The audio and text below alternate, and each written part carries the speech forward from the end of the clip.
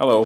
Now we are going to start um, several several videos about um, how to test the quality from the performance uh, point of view of the of the two web services we've been implementing: the get um, course executions and the create uh, external course execution. Okay, so we are going to use two tools: JMeter and the Profiler. So I will start with JMeter and a little bit how we define the test plans for JMeter, okay? And um, so the first thing we're gonna find this code, we created a new directory here, JMeter, and inside this we defined uh, as JMeter, you define basically a directory for its functionality, and inside the functionality we'll get basically here you get four tests. So these JMX files are basically text files that contain scripts. And you have a CSV file that contains data, as I will describe you, okay? And basically these, these tests are of two types. One is just a test that tests the feature, is these for instance, WS, Web Service, get external course executions test. And there's another one that tests the, the, the, the load, okay, where we simulate something like uh, 100 sim, uh, simultaneous users invoking the service, okay? And in this case, WS, Web Service, get external course executions, load test. And the same for the two create, so for the create web service. Okay? So, good. So, to, to do our work, basically you need to launch JMeter. Okay? And launch the, the, the server, because actually you are going to, to interact directly with the server. Okay? So, you need to have that in the server. I'm going to explain that to you. Okay?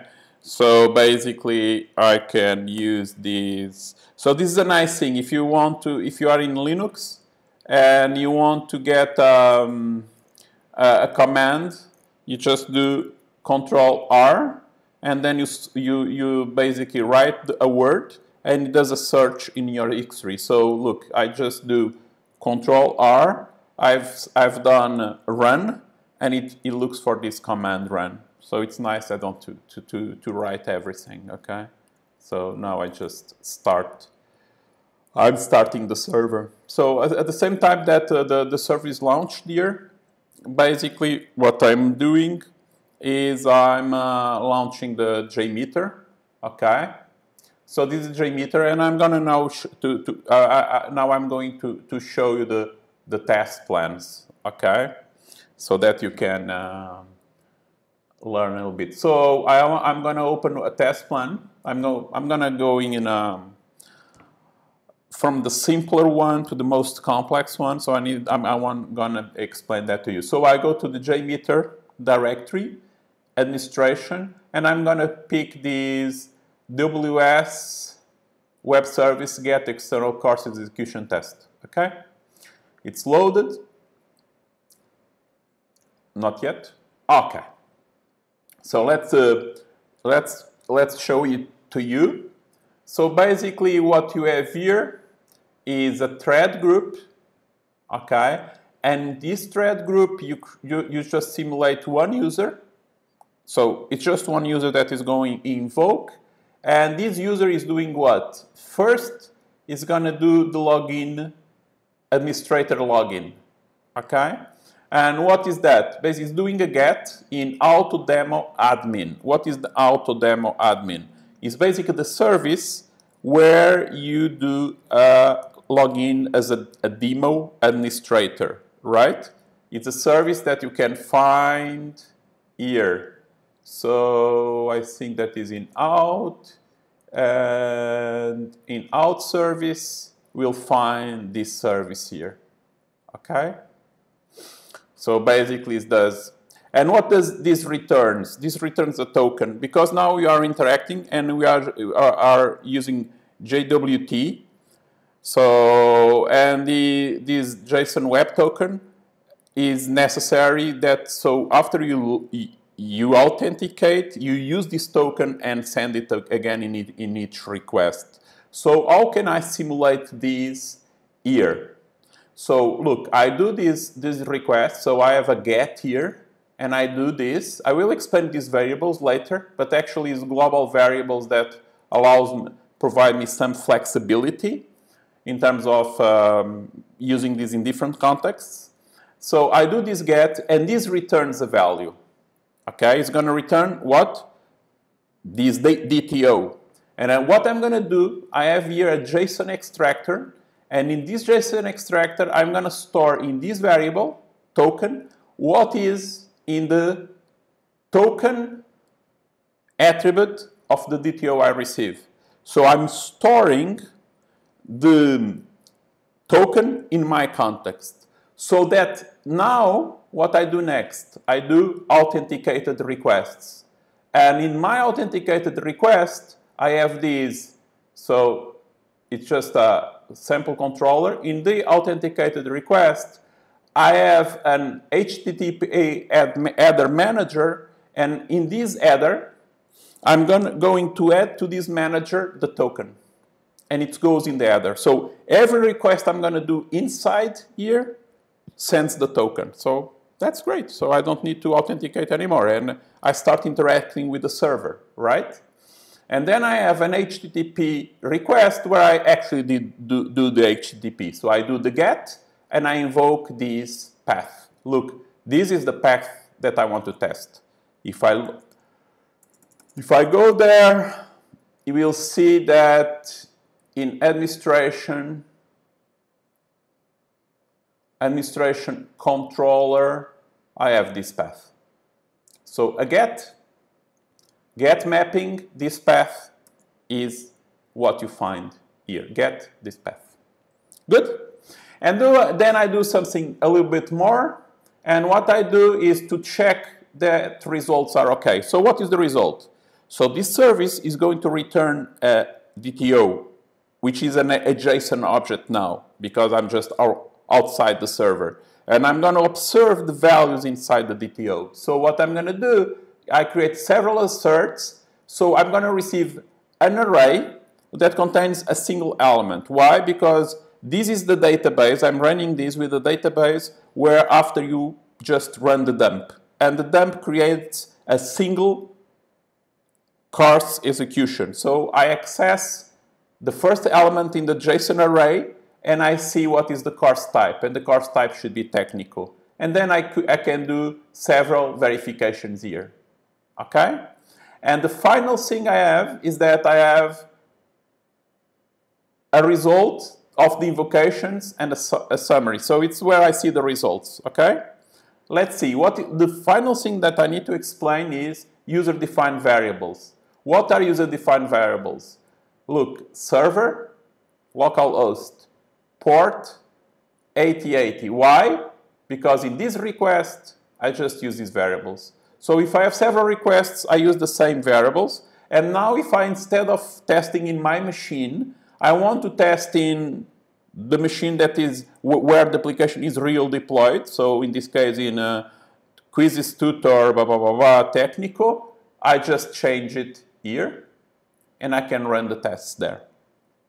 Okay, so I can even test in the uh, real environment. Okay, so let's run the tests. Let's observe here what is going to happen here. If I run it there, what is going to do?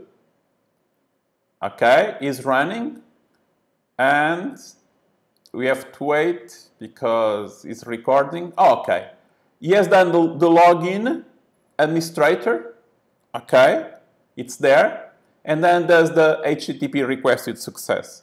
To see, just to see that I'm sending the token, look at this request. Uh, request headers. Look the request header this guy is sending. The, the authorization token is here, that it was received from the server in the first step, okay? As I usually say, this is nice. Okay? So the final thing I want to show you is let's see if it fails. Suppose that I'm expecting a different name here. Okay? Actually.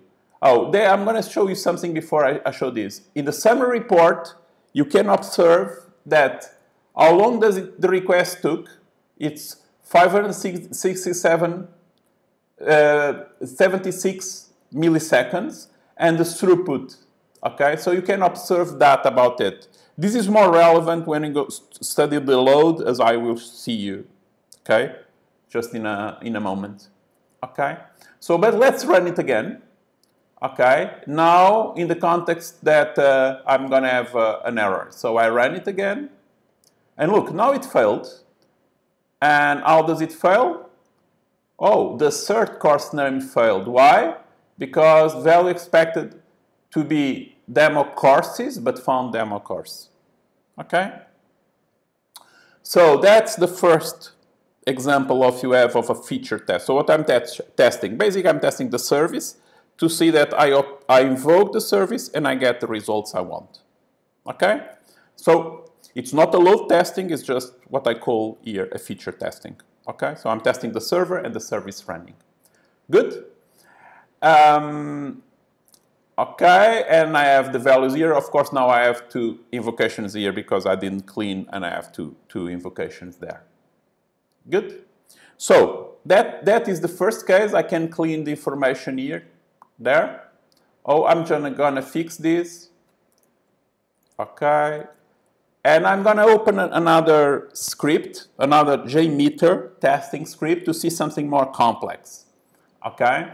And what you're going to see that is more complex is the create test. Okay? So it's again a feature test. So I'm going to use a single user just to invoke the service. But now there's something that is different. Look, what I'm, what I'm um, trying to do now, what I'm trying is that I'm going to create a course execution. And the problem is that if I do nothing at the end, this is going to be in the database. And if I run another test, maybe if I run this test twice, in the second time it says, well, the test fails because it already exists. So it's nice that at the end, you just delete the course execution. Well, so that's what I'm doing here. So I have this the same context, then I have this login is just in the like in the same. So I do the logging, I extract the token, and I apply the token in the header manager. Okay. Here in the header manager, I have something additional. Since I'm going to observe the results, I want that the content type is application JSON, so that I can get the observe the, the, the result of the invocation. Okay. Uh, let me see. No, no, it's not that the reason, sorry. This is because the data I'm going to send is in JSON. Okay, good. Because we already receive, receive a result on the other case. And now I have an HTTP request, is similar, but now it's a post, and I send this object. Why do I send this object? Look, to see the difference. Here, in this service, I don't have arguments. So you just invoke, you don't have arguments. But in this, you send a request body when you are creating a, a course execution. And you need to send this request body, okay? So to send this request body, the way to send it is basically you need to send it as a JSON object. That's why you need to say that you have application JSON there. And here, what you're going to define is the same. You define the server, the port, it's a post, and you define the path. And, of course, you just say this. What I'm creating here, I'm creating a course execution type, external, which acronym is EC99 and is the first term, okay? And is of this course. When I invoke it, it's going to create it, right? So I'm gonna check here that what is returned is actually this acronym. Good? But at the end, when I finish, well, I want to delete it. So to delete it, that's the part that is new. You have a tear down thread group that runs at the end where basically you create a JDBC connection. So you connect to the database. Look, you need to do this. Basically, you need to define here that is a Postgres SQL. Where, where is the server? Okay. And you need to put this driver. Uh, there's a problem here that I have to solve is that at least in my machine, the last version of JMeter doesn't contain this driver. So I had to add the driver directly to the library of JMeter. Okay, that's not difficult. You do a search, we'll find how to do it. Okay, but be aware that maybe you get some error, an error, and the error is easy to understand because it says, well, no driver is there, okay, or cannot open the driver, and then we'll see, and you just download the driver and add it to the library. And then you have the username and the password of my database, okay, and then I have a request. And what I'm doing in this request, I delete from course executions where acronym like this. And so, so that's nice. I run the test, and at the end, I delete what the entity I created. So I can run it twice, basically. So let's run it. Let's observe what is going to happen here. I ran it there. Oh, it's already. So it ran. I send a request. Look, it's the request here. In the header, it's there. Okay? And at the end, it disappears. Why do I know that it disappears? It's deleted there. It's easy. Why? If I run it twice and if it's going to work, it was okay. So let's do it again. Well, good. It worked. So that's the first part of using JMeter and good work.